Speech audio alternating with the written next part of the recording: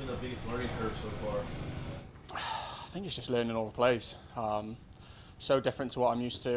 Uh, obviously, in rugby, you don't have to learn as much, but I think physically, um, I think I'm in good shape.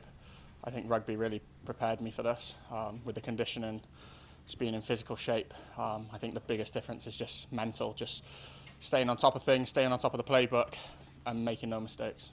Louis, remind me, but before the pathway really started, I think there were days where you practiced in pads. Is, Mhm. is that correct? Yes, sir. How many of those days did you have, and what were you trying to get the most out of before obviously transitioning to being on the pads in, a, in an NFL camp? Yeah, um, so with the international player pathway, we were in there for about two months, pads and helmet. Um, so I was just trying to get used to it, to be honest. Obviously, never training with pads and a helmet is quite unusual, but you know that really prepped me to, to be able to come in here and you know kind of get the, the ball rolling straight away, not having to get used to you know the pads and the helmet. Um, so yeah, I'm, I was pretty prepared for that. Where are you as far as comfort level when it comes to lining up and, and waiting for the beginning of the play and so on and so forth? Yeah, I mean, um, you know, I'm non-stop trying to learn this playbook because, you know, as soon as I, I can start, um, you know, not having to think about playing and just playing fast, that's the biggest thing for me. How many Um, hours like are you spending on it just to? Oh, I mean, we don't finish meetings until 8 p.m. and I probably go to bed at 10 p.m. So an extra two hours just learning the plays. Um, you know, because I'm playing catch up with, you know, a lot of people that have played American football since they were little kids, six years old. So, um, you know, there's no time to rest for me. I've got to, you know, give this my all because ultimately this is my dream, and to make it come true, then I've got to, I've got to play. Um, I've got to be a step ahead of, ahead of a lot of people. What's a successful, what's a successful season look like for you this year, just, just your rookie season? What's that gonna look like at the end for you to look back on and call it a success? I mean, the first goal is to make the team. Um, you know, I know special teams is going to be massive for me. I've Been working really hard on that with um, Coach Tobes and, and Coach Hill, um, and just learning the playbook. As I said, learning the running back roles, being able to learn pass protection, um, and then learning my routes off that. I think you know all of it adds up, and uh, the, the main way I'm going to make this team is by learning learning pass protection and and be able to be a, a key role in special teams. And how has the team rallied around you? Have you have you talked about you're learning the playbook, you're, you're Mm-hmm. doing all this. How have they rallied around you and helped you? Or is there anyone specific maybe that has helped you? I mean, everyone's been so helpful. All the running back room, we're a very tight knit group. Um, you know, we're all trying to push each other, challenge each other every day. Um, and, you know, we're all behind each other, especially, you know, quarterbacks are, re- are very helpful. Um, you know, the likes of Pat, Carson, um, you know, Ian and Chris, you know, everyone's so helpful in trying to, especially me, you know, a new guy coming in and, and not really knowing, knowing much about a playbook, trying to, you know, allow me to learn, give me time uh, but at the same time pushing me as hard as I can because um, you know I need to try and learn this quick because there's not much time. Uh, you know, training camp's only what two months, um, so I've got to learn it as quick as I can um, and just give it my best effort. If I can, about being in pads for the first time. Yeah. Is there is there a difference in terms of how you have to run the, the running style, or just the overall difference between rugby? Just what was that experience, I guess, like, and is there a, a key difference that you had to figure out even before obviously joining the team? Yeah, I think the biggest thing is pad level. Um, you know, not standing upright, allowing the defense to give an e- easy push on you. Uh, you know, dropping your body height, uh, bracing for, for, for tackles. Um, you know, everything everything's completely different. so I mean, it's a completely different sport. So, you know, I'm trying to learn um, as much as I can. You know, and try and bring what I've got already in rugby to, to the to the American football side of it, and um, you know, just give it my all. Are you anticipating in kind of your first pad padded practice, your first preseason game, even getting to a regular season game, as far as getting that first contact and kind of experience? Oh, I'm excited. I can't wait to see the difference. Um, you know, I get that question all the time. You know, what's what's harder, hitting rugby or American football? But we'll soon find out. Um, you know, it's going to be fun. You know, I've played a contact sport since I was 12 years old. We started we started contact in rugby, and um, you know that's bone on bone. But we'll see see what it's like when it when we come to pads. We kind of obsess over here about metrics. You know, it's all about the combine and your numbers. Yeah. I know you did like a international pathway testing, uh, and I think you ran like a four four three. Did you do any prep for that? Do you feel like that's accurate of you, or? No, I was running way quicker than that.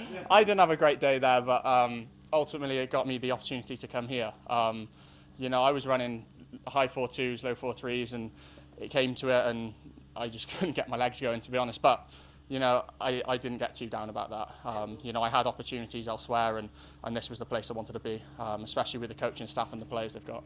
Louis, on Sunday, I think you get your first taste of Chiefs Kingdom with the fans Yes, coming sir. out here. Uh, what do you know about Chiefs Kingdom? What are your expectations? What are you hoping to see on Sunday? Oh, I know they're crazy for the Chiefs. Um, you know, um, I've been luckily enough. I've been in teams that have had massive support, um, and you know that's that's always what I want to be a part of. Uh, you know, these fans are incredible. Um, unfortunately, I haven't been to Arrowhead to watch a game, but I've heard, um, you know, how good it is, how loud the fans are, how obsessed they are with the team, and um, obviously winning helps that, and we're going to continue to try and do that this year. Speaking of rugby, I know Patrick said he brought a TV for only two reasons, and one of those is the Olympics. I mean, how are you going to look? How are you going to feel supporting your guys? You know, as they go through the process. Yeah, I mean, um, I'm excited. You know, the Olympics is obviously massive back home, especially.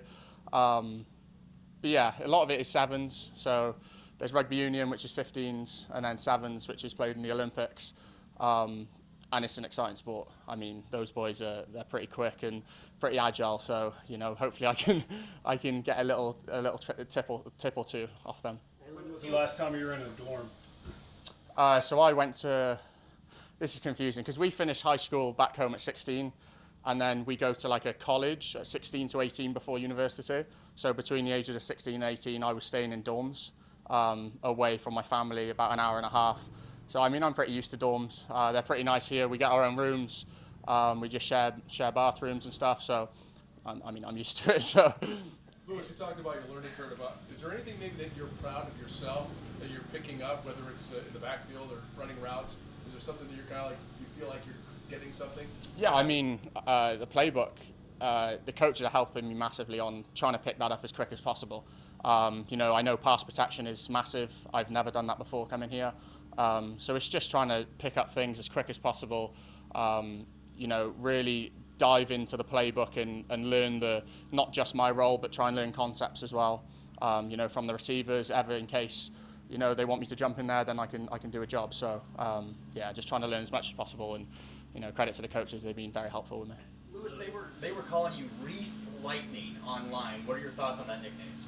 I mean, I like it. I've I've ran pretty quick in uh, in my time in rugby, so it's time to, to see if I can replicate that in the uh, in the NFL. Hey, Louis, you mentioned Couple special, more. you mentioned special teams. Dave Hill's been pretty creative in the past. Obviously, you can do a lot of things. Yeah. Lateral. I mean, have you gotten a glimpse of what they might have planned for you? Do you think it's going to be pretty imaginative? Did you out there? I mean, no one's obviously this kickoff rules are new, so no one's no one knows what's going to come. Uh, so we have got some creative plays. Um, obviously, not to mention now, but hopefully you'll see them in the first preseason games.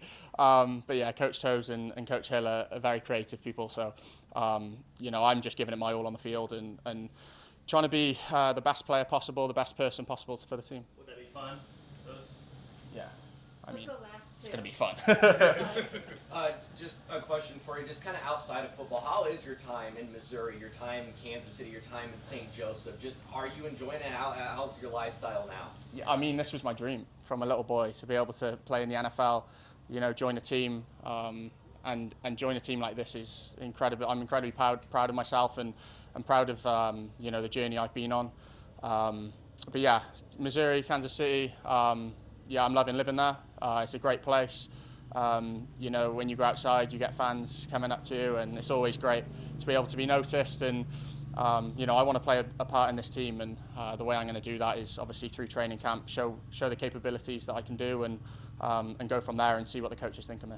Last one, Adam. Your first uh, practice game is about three weeks away. What's that event going to be like for you? Suiting it up for real down in Florida. Yeah, it's going to be exciting. Um, you know, I've played in front of big crowds, um, so I don't think the occasion's going to get to me. Um, but obviously, it's going to be a proud day for myself and my family if I get on the field. Um, and then it's just about showing what I can do. You know, every time I get the ball in my hands, being able to be a difference maker, um, and just being able to help the team as much as I can. And um, you know, I'm I'm very excited for that day.